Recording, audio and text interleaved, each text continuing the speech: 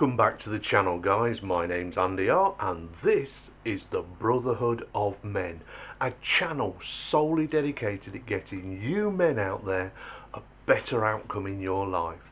And today I want to talk directly to one guy, a commenter.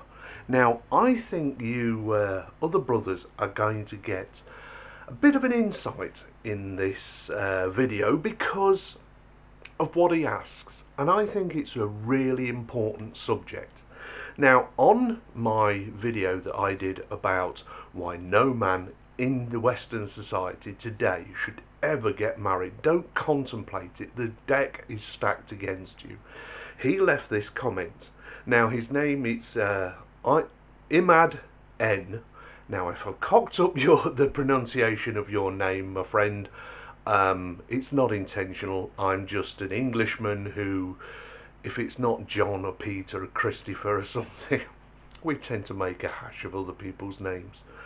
So this is what he says, and I'm reading it straight from the comments so that uh, I can get across exactly what he says. So, even if I am not planning to have children, what if I will sign a contract implies that the husband and wife's wealth is separate and none of them owe the other anything in case of divorce? Well, on that subject, um, I'm not a legal expert, so please take this as just my opinion. It's not my job to tell you what to think or even what to do. It's my job just to give my opinion, to give some information, and for you to find out for yourself what is best for you. I've said it before, and it's worth saying again. A good teacher teaches you how to see. A bad teacher teaches you what to see. Well, that's the same here in the brotherhood. A good brother teaches you how to see or how to make a decision. A bad brother tells you what decision to make. I'm not going to be a bad brother. I'll give you my opinion and I'll give you the reasons for my opinion. But you are the only person who can make the right choice for you. Now that might seem like a cop out because you really, the truth is, Imaden, is that you want to make the, somebody make the decision for you and nobody can. You have to make that decision for yourself. But I can give you my opinion. And my opinion doesn't change. I don't think any man in Western society, I mean, you don't say what country you're from, you have left a follow-up comment which gives me a little bit of pause for thought and I'm going to read that comment as well so that my brothers out there can get the full story. So the follow-up comment you left was, and I'm reading again straight from the comment section, I, I replied in the comments to Imad's comment with, um, all good questions, brother. And I will be doing a separate video on that very subject soon. So stay tuned. All the best, Andy R. Which then Imad replied with, Thanks, brother.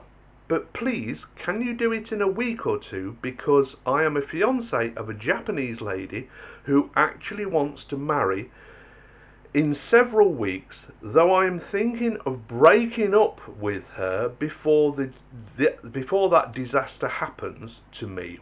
I want to know not only the economics and legal issues of marriage, but also the mental wellness issues. Appreciate your help. Again, all good questions, but again, not ones that I should be making for you when I said when I said that um, I get a few red flags issued from that second comment. Number one, you're already thinking of splitting up with her. Never mind about the marriage side of it, but literally breaking the relationship. Why? Is there some inner voice that's speaking to you saying something's not right here? I did a video on that. You should never ignore that inner voice. If something isn't right, getting married isn't going to make it right. Just like some relationships, they're on the rocks and then they decide to have a baby as though that's going to heal the relationship. No, all it's done is brought another element into something that already isn't right. So if a little voice is telling you, get out, I shouldn't be entertaining this relationship, never marrying, getting married, then listen to that little voice. It's telling you this for a reason. Only you know what that reason is. You also don't mention where in the world it is that you live, so I'm going to assume it's a Western country. You need to know what the laws are in your country. If you're in the United States, you need to know what the laws are in each state to know where you stand. But I still maintain the deck stacked against you. Now, you mentioned that you're um, planning on marrying or not, as from what your your message says, uh, a Japanese lady. Again, a different culture, different set of ideals. Some Western men are going to the Asian market, if you like, Japan, Thailand, Indonesia, etc., looking for brides because they are more traditional. They're more like the women that we want, that are more traditional, have higher standards for themselves than the women that we're being offered in the Western world. That doesn't matter. It doesn't matter where you get married. It's where the divorce is filed that's the important part. So you could be married in Outer Mongolia with a legal certificate saying you are now husband and wife. And like I said, that document is a legally binding document with clauses in that you have no idea what they are. So the first thing is find out what the clauses are of that country. Find out what you are expected, what is expected of you in that contract. You also ask about what is basically a prenuptial agreement. Well, for a start, not every country um, recognises prenuptial agreements. Here in England, prenuptial agreements have never been recognised, and there's a very good contract reason for that. If you were working and you had a contract, and then your employee brought you an amendment to that contract, in other words, a new clause to for to replace an old clause or even a whole new contract because you've moved up in the company you've gone from supervisor to manager. You get a new contract and in that it'll give you some probably different um, responsibilities for your new role plus a new pay scale a new holiday scale maybe. But in that what happens is when you sign that new contract it supersedes the old contract. The old contract becomes null and void. So in England, in my opinion, the reason that um, prenuptial agreements are not recognised in law here is because when you sign the marriage contract, the marriage license, it supersedes anything before the marriage, which is what a prenuptial marriage, pre-marriage, prenuptial. So the court goes, well, we're not even going to look at that because we have a new contract that supersedes the old one. Do you see?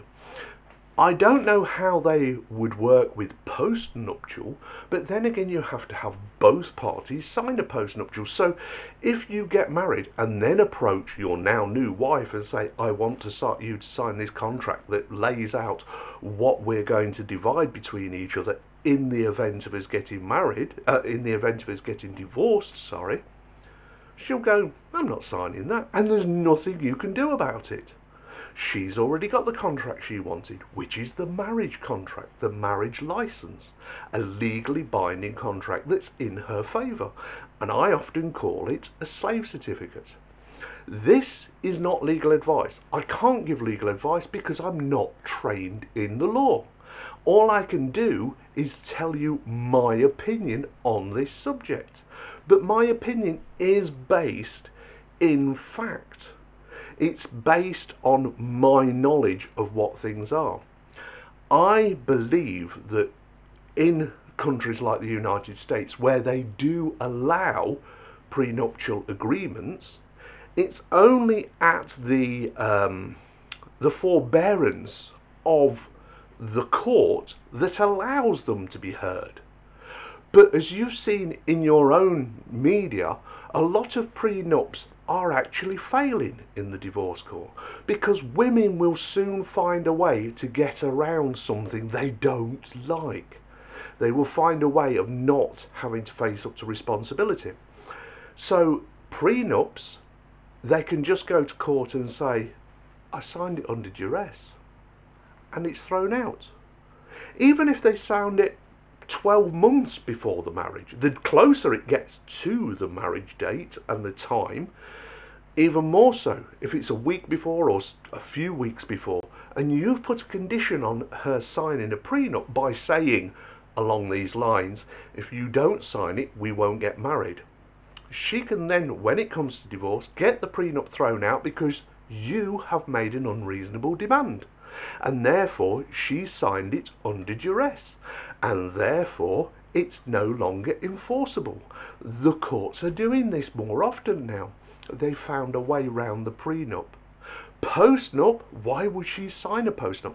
That's not taken into consideration approaching a woman with a prenup. You are basically saying to the woman, I expect this marriage to fail and this is how I want the assets being divided after the failure of the marriage we haven't even had yet. Yeah, good luck with that. That's not going to go down well at all. Because you're already talking about the end of the relationship before you've even started the married life. That's not going to make her feel very secure. So, if you want to get out of the relationship, offer a prenup and see what she does. And then maybe use the fact that she doesn't want to sign one as a reason to end things? I don't know. Like I say, I'm just a good brother giving you ideas, giving you knowledge. What you do with that knowledge is absolutely up to you. But you have to make that decision. Don't just stumble into a marriage because it's the easy route. Sometimes the hardest route is the one you should follow. The hardest route is the one that, that gives the most rewards. Following the path of least resistance is what water does, or electricity when you watch, watch lightning. You're not water and you're not electricity. You're a rational thinking man. And you need to be rational. You need to like I did in one video which was called Man Up. Assess the situation and make decisions on your knowledge. So I hope I answered. Now you also mentioned in there what is what are the legal ramifications, what are the emotional ramifications. Well, studies used to say that married men live longer than unmarried men and are happier. Well, they're old studies. The more recent are saying that single men are the happiest they've ever been and actually are happier than married men or men in long term relationships. Why is that? Probably because the marriages now are to women who are quite chaotic. Now, you say your fiance is from Japan, it's a whole different culture there. The women do tend to be a little bit more traditional. In fact, men go on marriage safaris looking for women from places like Russia and Japan and China and Thailand and Indonesia and because those women are far more traditional, far more like a wife used to be for us probably 50, 60 years ago. But we don't have that being offered to us in the Western world now. So only you can decide, only you can make the choice and decide whether one, you get married and go through with it, two, you don't get married but carry on with the relationship, or three, end the relationship completely. I think you're aiming towards ending the relationship completely. That's what you said in your comment. I don't know why. I don't know what's gone on in this relationship. I don't know what your worries are. And it's not my job to know. You have to know. And you have to make the decision for you. There is no ducking it. There is no passing the book on this. You have to make the decision about everything in your life. You're the only one who's got your back. And if a little voice is telling you, I need to run, why is that little voice telling you that? What's happened? Anyway, I hope that you got the insight that you wanted from this video. I hope that you come to a decision that you can happily live with because you are the one who will have to live with this decision. Prenups don't work in every country, and the countries they do work in, they only work because the because of the forbearance of the court, because your marriage contract actually supersedes anything that you signed before the marriage. Do you see? It's a prenup.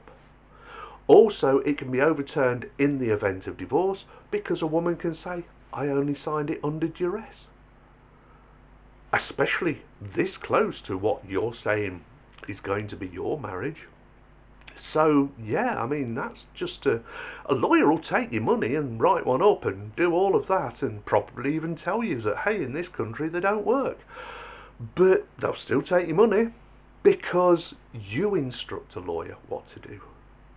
And why would a woman sign a postnup after she's got the contract she wanted, which is the marriage contract. So I can't tell you what to do. All I can do is try and be a good teacher, a good brother, and give you my opinion and some information. But you have to make the decision for yourself. And the step one of that is find out what the laws are in the country you plan to live in, not the one you plan to get married in because where you're living is where the divorce is filed and it's their laws that you will have to obey. Not the laws of the country that you got married in. Doesn't matter. It's the it's the country of the divorce that happens that you have to worry about. So you need to know what their views are on it. Most of them have it written in like I said before in my update about you providing for your wife. Never matter whether you're married to her or not, it could be for life. You have to find out. You have to learn how to see. I'm not going to tell you what to see. You have to do that yourself. I'm trying to be a good brother by telling you to get off your backside, stop procrastinating, find out the information you need to help protect you. Don't just stumble into a marriage because it's the easy option and now you're water taking the path of least resistance. No, you're a rational thinking man and you need to use those skills to get the best outcome for you. About the uh, mental and emotional outcome, well, that depends on what decision you make. You might decide to go through with the marriage and have a blissfully happy marriage all the way through till the day you die. I would wish that for every brother. I really would. But unfortunately, women are chaotic. Women make their familiarity breeds contempt after a while, they do tend to get contemptuous of the person they're with and start looking for a new and shiny thing which you'll never be able to compete against. She knows all of your faults. New and shiny has no faults. I'm just saying that. I'm not telling you this is what's going to happen. The second scenario is that you do get married, you didn't listen to that little voice in your head telling you something's quite not quite right here maybe we should delay for a while or maybe we should call it quits or maybe we should have a sit down and talk. Maybe we should see a premarital counselor about my concerns. All of those options are open to you.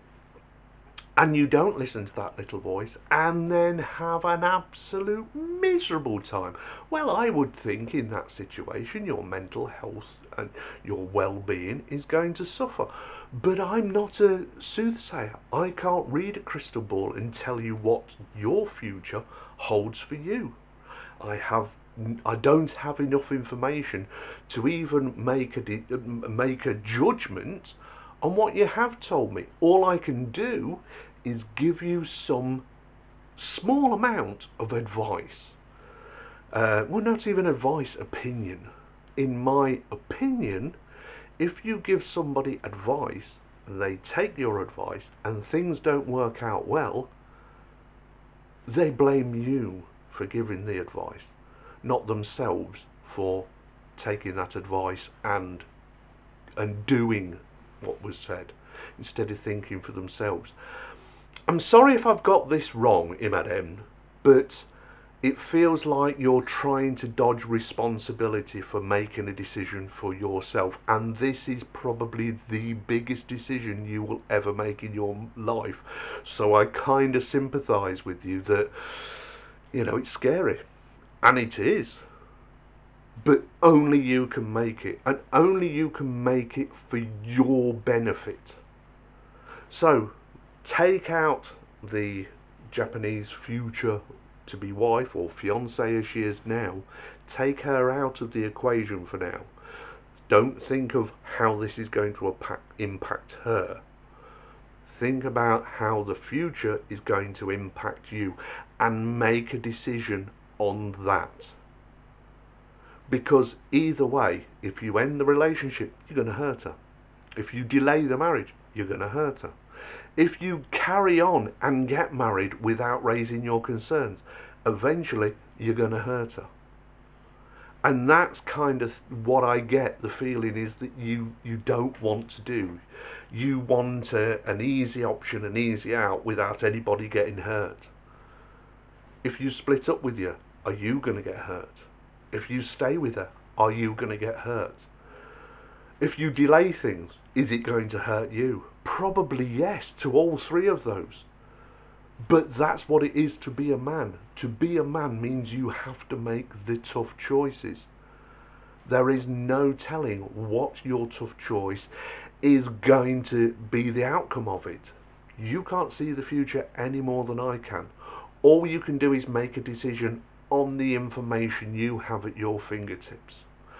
So, Imaden, and I do apologise if I'm screwing up the pronunciation of your name, but that is what I have to say on the subject. You have got to make a decision, and you've got to make one bloody quickly because time's running out.